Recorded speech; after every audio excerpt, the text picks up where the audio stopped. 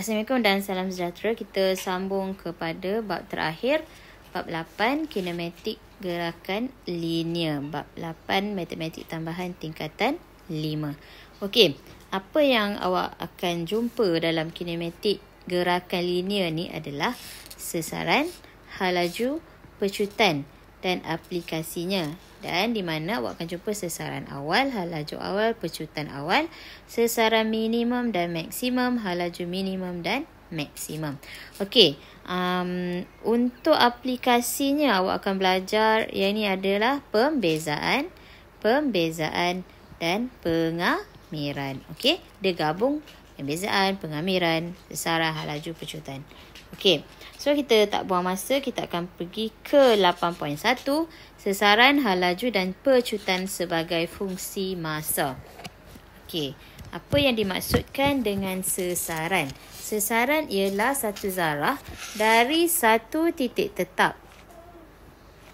Sesaran satu zarah dari satu titik tetap ialah jarak di antara zarah itu dan titik tetap tersebut yang diukur dalam arah tertentu. Okey, sesaran ni dia adalah kuantiti vektor di mana dia mempunyai magnitude dan arah. Okey.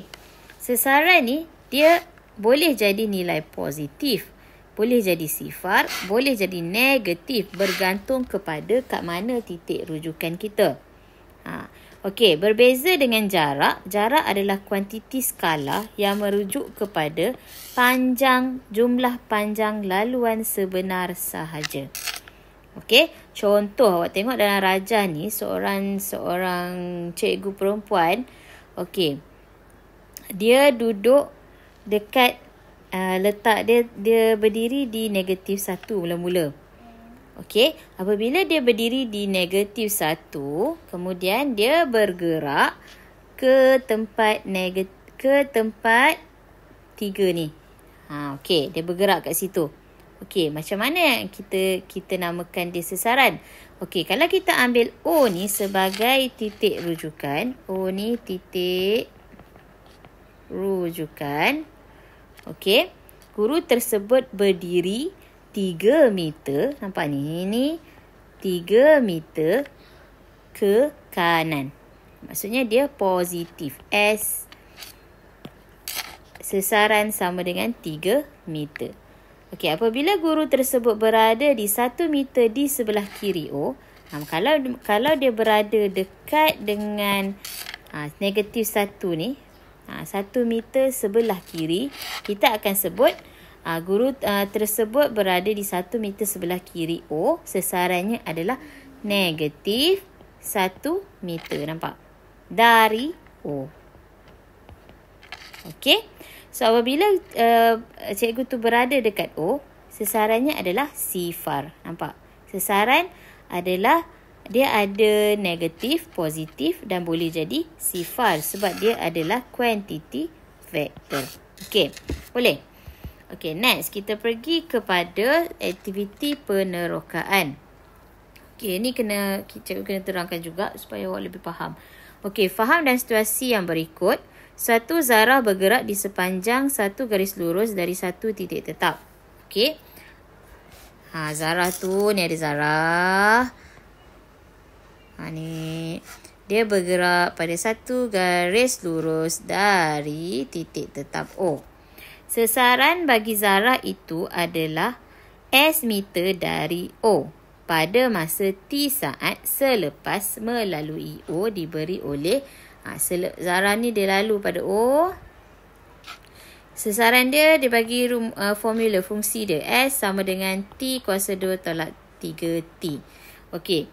So kita lengkapkan jadual yang diberikan. Dia bagi antara masa kosong. T tu masa eh kosong uh, masa di antara kosong dan empat saat. Okey.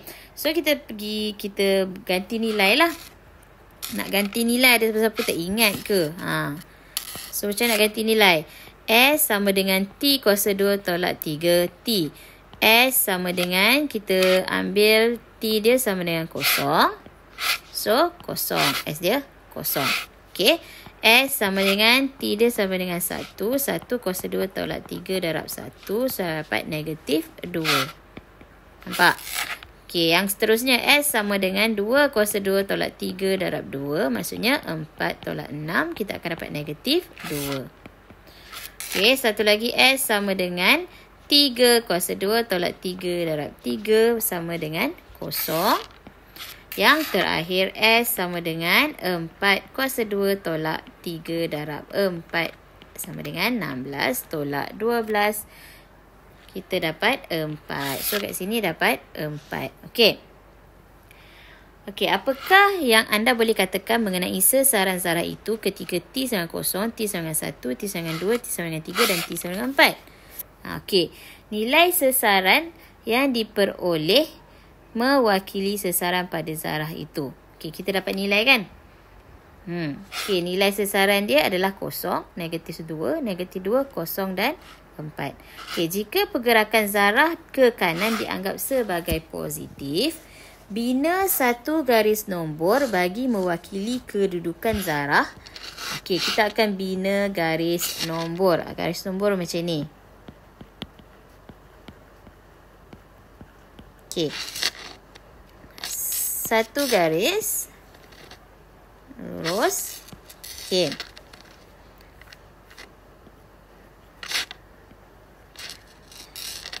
Dia bermula dengan O. Kemudian okey buat tengok eh. Bermula dengan O. Okey. Dia bergerak ke mana? Dia bergerak ke kalau dekat O T dia adalah kosong. Sesaran dia adalah kosong nampak ni. T kosong sesaran kosong dekat O. So, yang kedua bila T dia satu, sesaran dia negatif satu bermaksud dia sebelah kanan ke kiri. Ha, kalau negatif sebelah kiri bermaksud kat sini negatif dua. Di mana T sama dengan satu. Nampak? Ha, T dia satu, S dia dapat dua. Okay, so uh, dia punya line adalah macam ni. Zara tu bergerak dari sini. Nampak? Dari O. T sama dengan kosong. T sama dengan satu. Dari O dia bergerak begini. Ha, ni dia mula. Okay. Kemudian, bila T dia dua, sesaran dia negatif dua. Bermaksud ni T1 sesaran negatif 1 kan? Eh, negatif 2 kan? Ha, so, bila T2 sesaran dia, dia akan bergerak sampai sini. Ha, sini adalah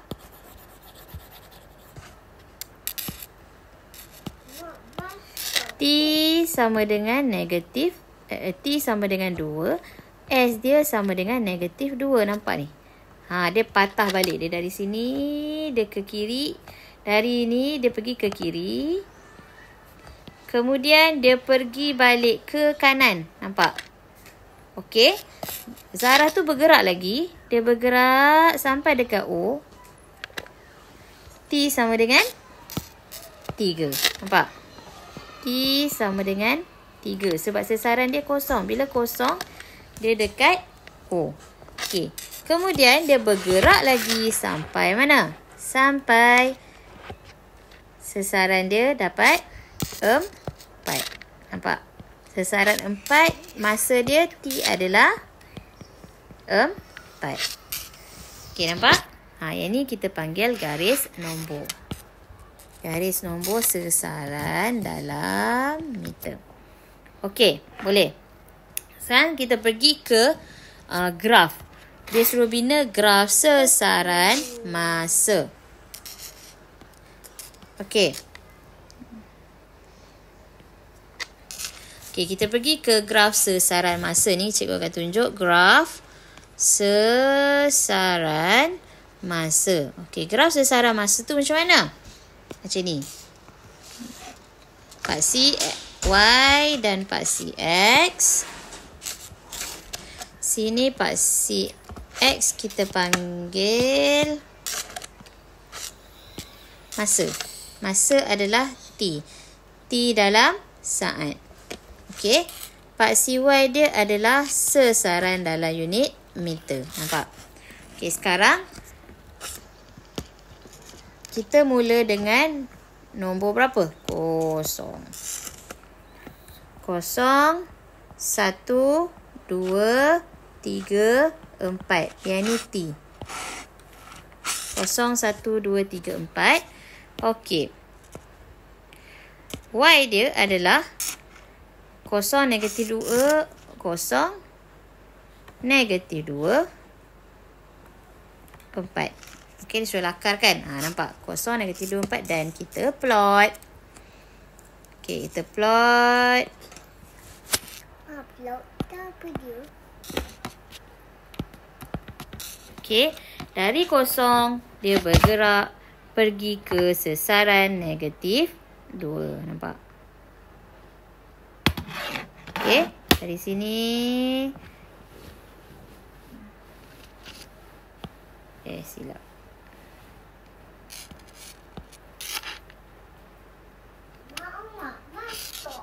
Oh boleh plot dulu. Kosong. Negatif satu. Negatif dua. Dua. Negatif dua. Tiga. Kosong.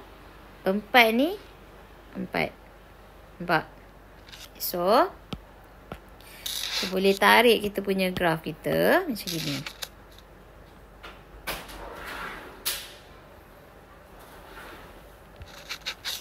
Okay.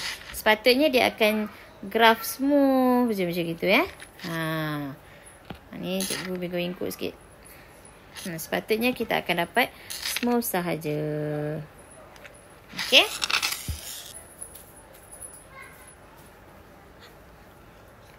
Okey, yang ni adalah graf sesaran masa. Nampak tak? Ha, dia dari kosong bergerak negatif dua. Negatif dua, tiga, empat. Okey. Ha, so awak boleh buat graf macam ni. Kena cuba buat. Okay next. Nombor lima. Nyatakan kedudukan zarah itu secara relatif dari titik O apabila sesaran adalah negatif. Ha, so untuk A sesaran negatif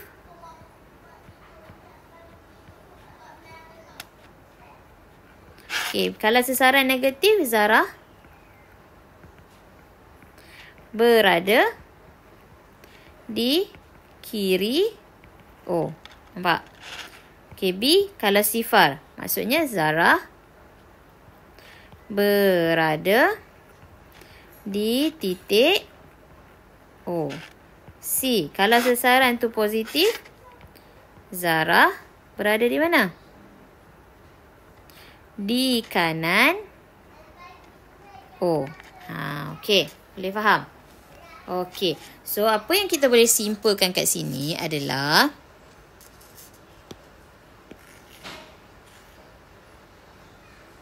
Okey. Kalau, okey, jika O ialah satu titik tetap dan gerakan zarah ke kanan ialah positif, maka sesaran negatif S kurang daripada kosong menunjukkan zarah berada di sebelah kiri titik O. Sesaran sifar bermaksud S sama dengan kosong menunjukkan zarah berada di titik O. Okey, sesaran positif S lebih besar daripada kosong menunjukkan zarah berada di sebelah kanan titik O. Okey, selesai. Okey, sekarang kita pergi contoh satu. Satu zarah bergerak di sepanjang satu garis lurus dan melalui satu titik tetap O. Sesaran S pada masa T saat selepas zarah mula bergerak diberi oleh S sama dengan 4 tambah 8 T tolak T kuasa 2.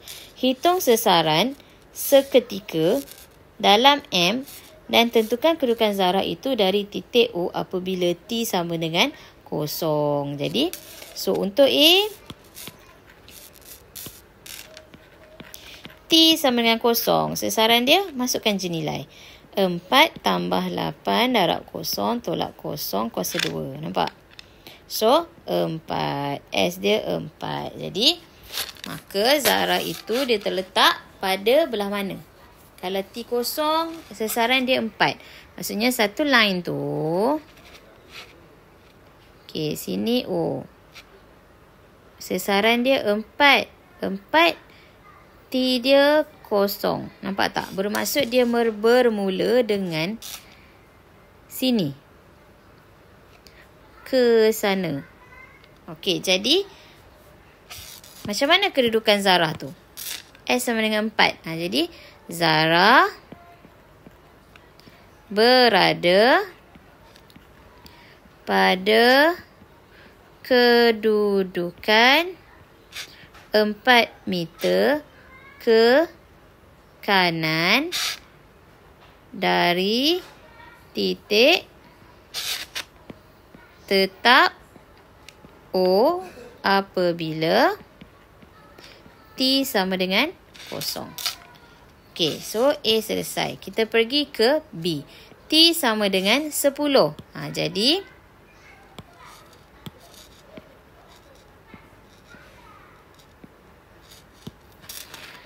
T sama dengan 10. 4 darab 8 darab 10 darab 10 kuasa 2. So, kita akan dapat negatif 16. Sesaran dia negatif 16. Jadi, negatif 16 kat belah kiri. T T sama dengan 10. So macam mana dari positif dapat ke negatif tu? Ha, bermaksud gerakan zarah tu dia pusing balik. Nampak? Dia pusing balik sampai sesaran dia negatif. Nampak? Ha, okey. Jadi apa maksudnya? Kedudukan zarah. Zarah berada pada kedudukan berapa?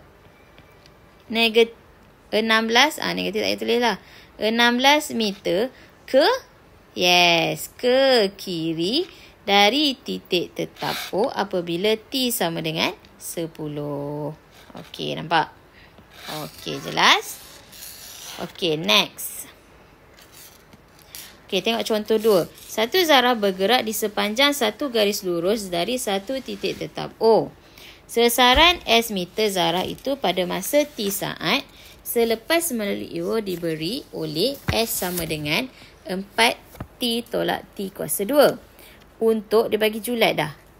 Masa dia di antara 0 hingga 5. Wakilkan sesaran bagi zarah itu dengan menggunakan garis nombor. Okey, nak buat garis nombor, kita perlukan maklumat. Data kan? So, kita perlu buat apa? Jadual. Jadual apa? Jadual masa dengan sesaran. Masa dia adalah T, betul? Okey, so masa dia kosong. Satu, dua, tiga, empat dan lima. Okey. Uh, so lengkapkan jadual tu supaya kita boleh buat garis nombor. Okey, S sama dengan 4T tolak T kuasa 2. Kalau S kalau T kosong, sesaran dia kosong. So kalau T dia 1, S sama dengan 4 darab 1 tolak 1 kuasa 2, kita dapat 3. Okey, S sama dengan 4 darab 2 tolak 2 kuasa 2 kita akan dapat 4 darab 2, 8. 8 tolak 4, 4. S sama dengan 4 darab 3 tolak 3 kuasa 2. So, kita akan dapat 12 tolak 9. Kita akan dapat 3. S sama dengan 4 darab 4 tolak 4 kuasa 2. 16 tolak 16 sama dengan 0. S sama dengan 4 darab 5 tolak 5 kuasa 2. 20 tolak 25 adalah negatif 5. Okay, nampak? So, kat sini negatif 5. Jadi, kita buat garis nombor.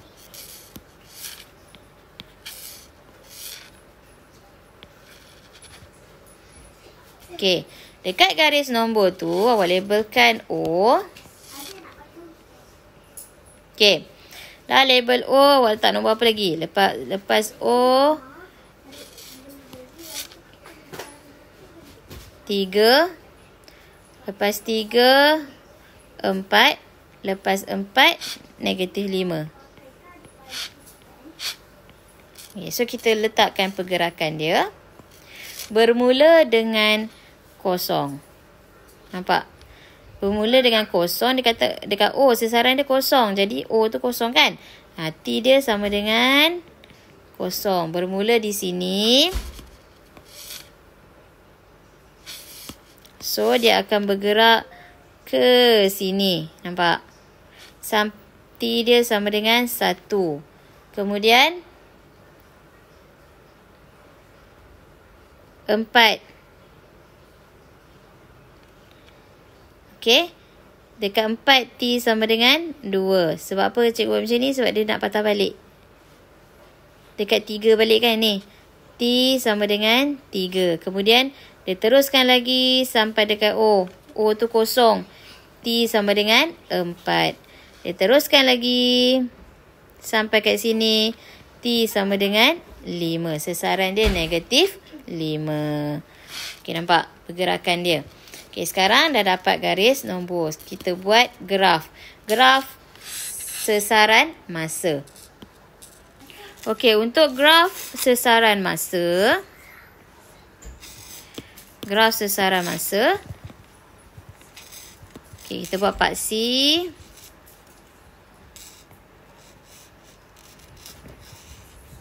Paksi X dan paksi Y. Kemudian kita labelkan paksi X untuk T dalam saat. Paksi Y untuk sesaran dalam meter. Okey. So kita label kosong. Satu, dua, tiga, empat, lima. Okey ada lima mak saat dia kan. Okey. Yang paling bawah untuk paksi Y adalah berapa? Negatif lima. Okey. Yang paling atas adalah tiga dan empat. Okey, so kosong kat sini. So, awak start lakar.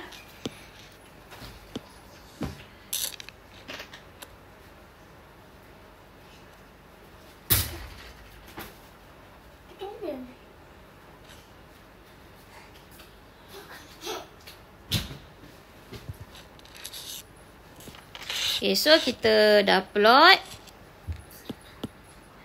Kita dah plot ni. Kemudian kita lakar. Okey, kalau boleh jangan kot macam tu lah. Awak punya tu mesti dia kuadratik eh. Ha, dia kuadratik. Dia graf kuadratik uh, licin je. Okey, boleh. Ha, so, dah dapat graf sesaran masa. Okey, next. Kita tengok latihan kendiri 8.1. Okey, satu zarah bergerak di sepanjang satu garis lurus yang melalui satu titik tetap O. Sesarannya diberi oleh S sama dengan 2T kuasa 2 tolak 5T tolak 3. Dengan T ialah masa dalam saat selepas gerakan bermula.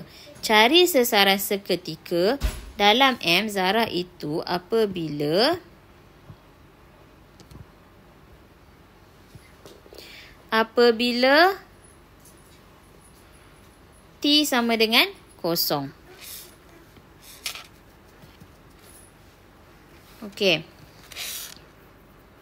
So kat sini A. Satu. T sama dengan kosong. Jadi S sama dengan 2. T kuasa 2 tolak 5. T tolak 3. S sama dengan 2 darab kosong kan T dia. Letak kosong. So, S sama dengan negatif 3. Pengiraan mesti buat. Walaupun awak tahu tolak-tolak kosong dapat negatif 3. Okey, jadi sesaran seketika zarah. sesaran seketika zarah. Apabila T sama dengan kosong ialah negatif 3 meter. Okey. Kemudian dia suruh cari T sama dengan 2. So, S sama dengan 2 darab T kuasa 2 tolak 5T tolak 3. 2 darab 2 kuasa 2 tolak 5 darab 2 tolak 3. 2 kuasa 2, 4, 4 tolak 2, 8. 8 tolak 10 tolak 3. So, kita akan dapat negatif 5. So, sesaran seketika Zara apabila T sama dengan 2 ialah negatif 5 meter. Okay, so A, uh, A1 dan 2 selesai. Kita pergi ke B. Bilakah zarah itu mula melalui titik O? Okay, so Okay. Macam kita tahu tadi, zarah tu dia akan lalu titik O bila apa? Sesaran dia kosong kan? Okay, so lalu titik O. Sesaran mesti kosong. Jadi, sesaran 2T kuasa 2 tolak 5T tolak 3 sama dengan sesaran kan? Dia punya rumus ni. Okay, jadi 2T to, kuasa 2 tolak 5T tolak 3 sama dengan kosong. Kita faktorkan dia. Mesti tunjuk pemfakturannya. So, kita dapat 2T tambah 1. Satu lagi. T tolak 3 sama dengan kosong. So, kita akan dapat T sama dengan negatif 1 per 2. T sama dengan 3. Jadi, yang ini kita abaikan sebab masa tak ada dalam negatif. Jadi, kita buat kesimpulan. Jadi, masa pada masa 3 saat Zara mula melalui O. Okey nampak? Okey untuk B2 Bilakah Zara itu berada 9 meter di sebelah kanan titik O? So kalau sebelah kanan bermaksud positif ke negatif? Ya, kalau sebelah kanan bermaksud positif kan? Bermaksud kat sini S sama dengan 9 meter belah kanan. So, 2T kuasa 2 tolak 5T tolak 3 sama dengan 9. Okey, 2T kuasa 2 tolak 5T tolak 3 tolak 9 sama dengan kosong. 2T kuasa 2 tolak 5T tolak 12 sama dengan kosong. Kita faktorkan dia, kita akan dapat 2T tambah 3. Satu lagi T tolak 4 sama dengan kosong. T sama dengan negatif 3 per 2. Satu lagi T sama dengan 4. Jadi, yang negatif kita abaikan. Sebab masa tiada negatif. Jadi, jawapannya pada masa empat saat Zara berada sembilan meter di sebelah kanan titik O. Okey, selesai. Okey, boleh? Kita masuk ke uh, teruskan kepada satu C. Tentukan julat masa dalam saat apabila zarah itu berada di kanan O. Bermaksud, dia nak julat masa berada di kanan O. Bila julat masa, S lebih daripada kosong. Julat masa dia mesti guna ketak samaan. Lebih daripada kosong sebab berada belah kanan. So, 2T kuasa 2 tolak 5T tolak 3 lebih besar daripada kosong. Okey, kita faktorkan dia. Kita akan dapat 2T tambah 1. T tolak 3 lebih besar daripada kosong. Jadi, T sama dengan negatif 1 per 2. T sama dengan 3. Okey, disebabkan lebih besar, jadi T lebih besar daripada 3. Yang ni abaikan. Okey, jadi julat masa ialah T lebih besar daripada 3. Okey, selesai.